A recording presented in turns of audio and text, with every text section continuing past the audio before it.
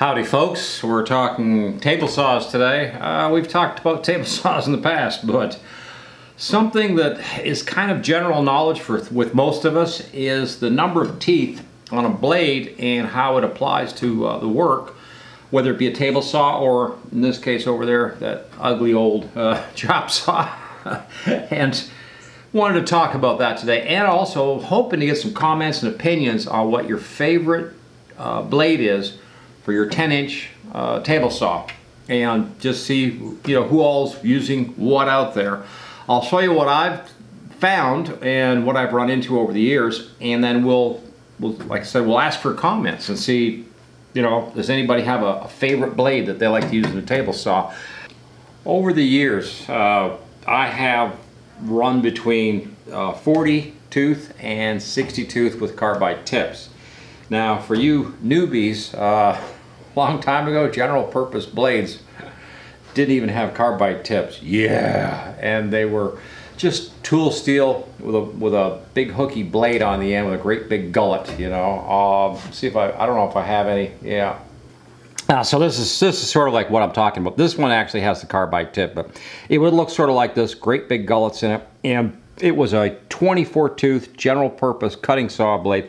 And a lot of times these blades would come with the saws that you purchased at the big box stores or well, wherever. And most of us characters we would take these off and just you know pitch them kind of thing. In fact I don't have one here because I sent mine off to a uh, scrap um, iron dealer not that long ago just to clear them out of here. So I had a bunch of the old ones without the uh, carbide on them even. They were really old saw blades 12 inches, a matter of fact, and also I had some uh, 10 inch, but they're, they're all out of here. Anyway, this is the sort of thing you run into back then. And this was called general purpose for, you know, ripping, like for fast cutting, 2x4, you know, that sort of thing. Great for a builder, I guess.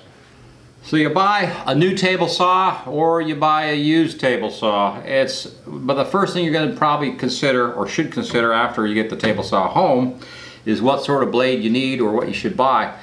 Generally, I find most people, and again, I want comments below if we can get them. Uh, I buy three blades. I buy a low tooth count, you know, a middle of the road tooth count, and a high tooth count. I usually like to go somewhere around 40, 60, and 80, you know, for the different cuts that I need for all the different crazy projects that I get into.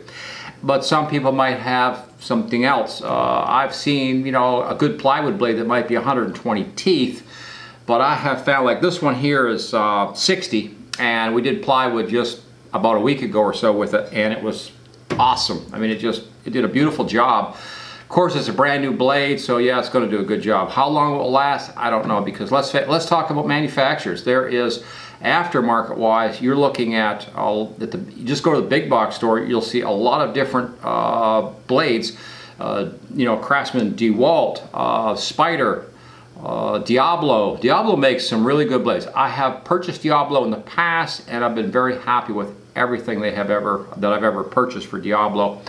Uh, I do want to show you something too. I recently purchased, uh, you probably saw it on the show, uh, Craftsman little circular saw, seven and a quarter, and the blade that came with it, oh man, what a piece of trash. The, the machine itself is probably fine, but they shouldn't even give those things out with those blades, but uh.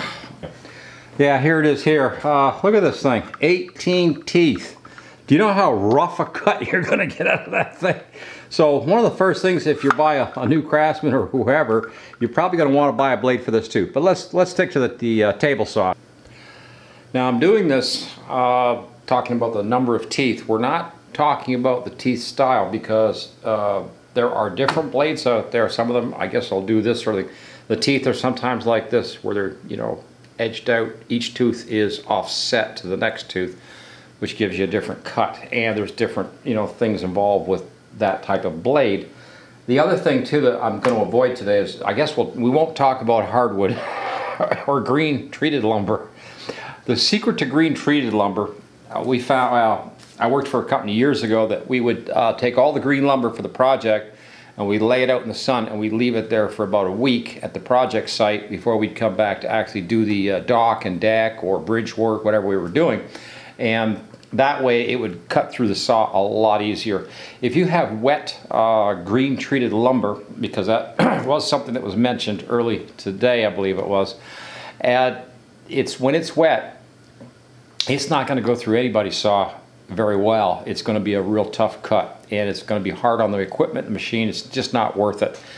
Uh, if you can lay it out someplace and expose it to the sun and let it dry out for about a week or something like that, uh, it will cut a lot easier and it'll be it'll still be a bit of a challenge compared to just you know common pine 2x4 or something like that but the you, you will cut a lot better and there's a lot less chance you're going to damage your equipment blade number. Let's let's get back to the teeth numbers here. Yeah, yeah, yeah. Besides the teeth number, there's also another situation here. Uh, the speed and the power of a saw.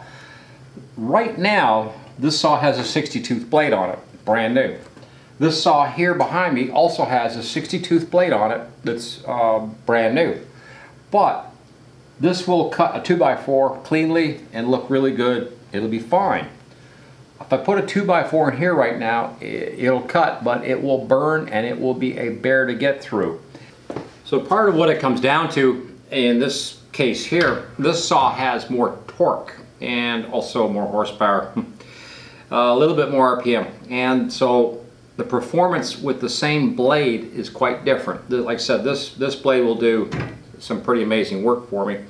I'm probably going to be switching down to a 40 because for me the 40 teeth seems to be the general, you know, the, the right area to be in for most anything I put through the saw day to day that if, if I don't want to change blades or something, I can normally pull a project out of, out of the uh, barn and it could be some pine 2x4, 2x6, whatever, and I can just be running it through. I just stay with this blade. The 60 tooth in this case here, it's, it's a nice blade, it's doing a good job, but I really shouldn't be using it for this. This is sort of uh, a little over the top. in fact, I might even pick up another one of these for that one because again, it's uh, it's the 60 tooth on that same thing. It's a little it's a little tough on it. Anywho, yeah, uh, number of teeth. I, would love to hear some uh, feedback on this one, guys. And uh, I'm keeping it short today. We had a couple of uh, strange issues happen here this morning. Uh, we had a baby skunk hanging around for a while. Something happened to him. I had to bury him this morning. He uh, stopped breathing about 10 o'clock in the morning in my backyard. And I was like, well, you know, it's like, at least he's out of pain or whatever was going on. So we, uh, we buried him. So we'll uh, dedicate this video in memory of, uh, we'll call him Stinky, because what else do you call skunk? Thanks for watching Coffee and Tools. Please like, share, and subscribe. And Thursday, big things happen. Big, big giveaway on Thursday. All right.